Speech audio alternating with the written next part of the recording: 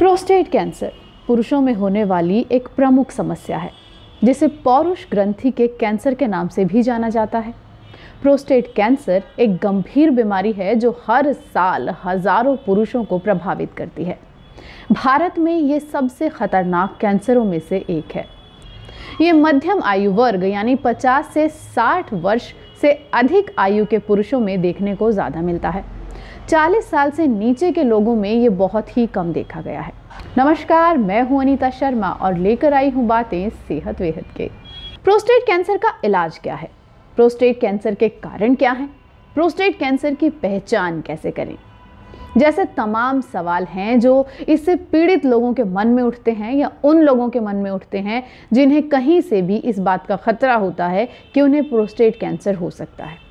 Prostate cancer क्या है, ये समझने के लिए सबसे ज़रूरी है कि हम इससे जुड़ी कुछ ज़रूरी बातें समझें। प्रोस्टेट कैंसर से जुड़े ऐसे ही कुछ सवालों के जवाब जानने के लिए हमने बात की यूरोलॉजिस्ट डॉक्टर शैलेश चंद्र सहाय से। तो सबसे पहला सवाल लेते हैं कि प्रोस्टेट कैंसर आखिर है क्या? प्रोस्टेट को हम हिंदी में गदूत कहते हैं या फिर इसको हम पौरुष ग्रंथि कहते हैं। ये सिर्फ़ पुरुषों में पाया जाता है। और जब इसमें कैंसर उत्पन्न हो जाता है तो ये प्रोस्टेट कैंसर एक काफ़ी आज के समय में बहुत ही कॉमन प्रोस्टेट कैंसर है इंडिया का। And this is one of the leading cancer in India तो प्रोस्टेट कैंसर किस एज ग्रुप में होता है? नॉर्मली ये 50 से 60 साल के आसपास वाले मरीजों में होता है।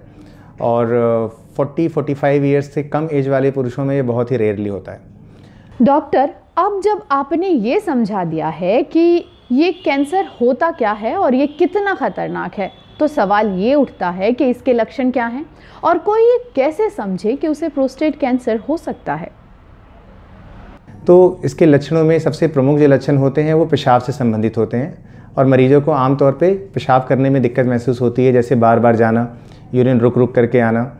यूरिन में कुछ ब्लड आ सकता है, या फिर कितनी बार रात में बार बार आपको यूरिन जाने की वजह से नींद खराब होती है।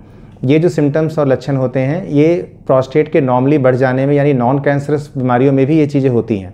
डॉक्टर सहाय जैसा कि आपने बताया कि नॉन कैंसरस बीमारियों में भी इस तरह के लक्षण आते हैं तो प्रोस्टेट कैंसर को डायग्नोस कैसे किया जाता है? डायग्नोसिस करने के लिए सबसे पहली चीज़ तो ये है कि हमें क्लिनिकल एग्जामिनेशन करना होता है। इसमें मरीजों के लैट्रिन के रास्ते से एक उंगली का टेस्ट होता है इसको हम डिजिटल रेक्टल एग्जामिनेशन कहते हैं जो एक कीरोलॉजिस्ट या डॉक्टर जो भी हैं उसे कर सकते हैं। और एक ब्लड का टेस्ट जिसको पी कहते हैं प्रोस्टेट स्पेसिफिक एंटीजन ये टेस्ट हमें ये बताता है कि आपका पी नॉर्मल रेंज में है या उससे बाहर है। अगर कोई भी शक होता है तो वैसे केसेस में प्रोस्टेट की बायोप्सी की जाती है, जिससे कि आप कैंसर की डायग्नोसिस कंफर्म करते हैं। अगर कैंसर की डायग्नोसिस कंफर्म होती है then there are certain other test like MRI bone scan और PET scan which can be done to stage the disease अब अगला सवाल जो किसी के भी मन में उठ सकता है, वो ये कि आखिर प्रोस्टेट कैंसर होता क्यों है? इसके पीछे के कारण क्या हैं? तो डॉक्टर सहाय, ज़रा इस बारे में भी हमें बताइए कि प्रोस्टेट कैंसर के कारण क्या हो सकते हैं। तो अगर मैं कहूँ कि इस बीमारी में कोई डाइटरी रोल है या नहीं तो देर मे भी ए पॉसिबिलिटी कि आपके खाने में जो आप खाना खाते हैं, जैसे उसमें अगर अल्कोहल की मात्रा ज़्यादा है, या फिर स्मोकिंग करते हैं आप तो आपको इन बीमारियों का चांस ज़्यादा होता है। और ये बीमारी मेनली हेरिडिटरी मानी जाती है तो ये भी पॉसिबल है कि पाँच से दस परसेंट ऐसे पेशेंट होते हैं जिनमें ये फेमिलियल होता है और फैमिली में रन करता है।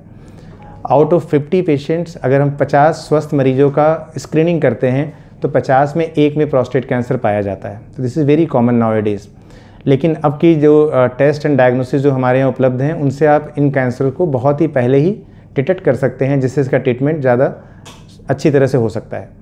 डॉक्टर सहाय, आपने बात की ट्रीटमेंट की। अब ज़रा हमें इसके इलाज या ट्रीटमेंट के बारे में भी बताइए। आखिर प्रोस्टेट कैंसर का ट्रीटमेंट किन तरीकों से किया जाता है? सबसे पहली चीज़ तो ये है कि अगर आपको कोई भी ऐसी बीमारी लग रही है, अगर आपको लगता है सिम्टम्स आप इमीडिएटली अपने यूरोलॉजिस्ट से संपर्क करें। जब इसकी डायग्नोसिस बन जाती है तो फिर स्टेजिंग के हिसाब से इसमें ट्रीटमेंट होता है। तो there are different stages like stage one two यानी अर्ली स्टेज अगर आपको है तो इसमें कैंसर को पूरी तरह से बॉडी से निकाला जा सकता है बाय डूइंग सर्जरी इसमें कुछ ऑपरेशन होते हैं, जिसको हम लोग रेडिकल प्रोस्टेक्टमी कहते हैं। ये ऑपरेशन दूरबीन की पद्धति से यानी लैप्रोस्कोपी से या रोबोटिक्स से भी किए जाते हैं, जो कि एक बहुत ही मिनिमल इन्वेजिव सर्जरी मानी जाती है और इसमें रिकवरी बहुत फास्ट होती है। इसके अलावा अदर ऑप्शंस जैसे हार्मोनल थेरेपी कीमोथेरेपी और रेडियोथेरेपी भी इसमें उपलब्ध है। तो ये डिपेंड करता है कि मरीज़ हमारे पास कौन से स्टेज में आते हैं और उनकी ऑपरेबिलिटी क्या है। उसके हिसाब से उनका ट्रीटमेंट डिवाइस किया जाता है। एक बहुत ही महत्वपूर्ण सवाल जो उठकर यहाँ आ रहा है वो ये कि क्या प्रोस्टेट कैंसर से बचाव भी किया जा सकता है? क्या पुरुष किन्हीं बातों का ध्यान रखकर खुद को प्रोस्टेट कैंसर से बचा सकते हैं? अगर इसे बचाव किया जा सकता है तो इसके बचाव के उपाय क्या हो सकते हैं? सबसे इंपॉर्टेंट ये है कि आप अपना हेल्थ चेकअप करें। तो अगर आपकी उम्र 50 साल के आसपास है तो आपको साल में एक बार अपने बॉडी का टेस्ट कराना चाहिए। एक अल्ट्रासाउंड एक सीरम पी से ब्लड का टेस्ट होता है। हम इन चीज़ों से ही पता कर सकते हैं कि आपके शरीर में ऐसी कोई गंभीर बीमारी तो नहीं है। क्योंकि अगर हमने इसको समय रहते पहले ट्रीटेड कर लिया तो ट्रीटमेंट बहुत ईजी है और आपकी लॉन्गेविटी बनी रहती है। लेकिन अगर कुछ ऐसे मरीज़ हैं जिनमें ये पता नहीं चल पाता है तो ये स्टेज थ्री फोर में अगर आते हैं तो उसमें ट्रीटमेंट ज़्यादा कॉम्प्लिकेटेड होता है। तो मैं चाहूँगा कि आपके घर में जितने भी आपके बुज़ुर्ग, आपके अंकल पिताजी ये जो 50 साल 60 साल के ऊपर उम्र वाले जो पुरुष हैं, उनमें ये अवेयरनेस फैलाएँ और उनका एक बार हेल्थ चेकअप साल में ज़रूर करना चाहिए, जिससे कि अगर कोई ऐसी कैंसर वाली बीमारी उनके शरीर में हो रही है तो उसको हम जान पाएँ और समय रहते ट्रीट कर पाएँ। तो ये थी प्रोस्टेट कैंसर पर पूरी जानकारी। अगर आपके मन में प्रोस्टेट कैंसर को लेकर और सवाल हैं या आप किसी अन्य स्वास्थ्य समस्या पर हमसे सलाह या जानकारी चाहते हैं तो कमेंट बॉक्स में या नीचे दिए गए ईमेल आईडी पर अपने सवाल हमें लिखें। हेल्थ टिप्स और जानकारी से भरे वीडियोस के लिए एनडीटीवी सेहत वेहत को लाइक और सब्सक्राइब करें। बेल आइकन दबाना बिल्कुल भी ना भूलें।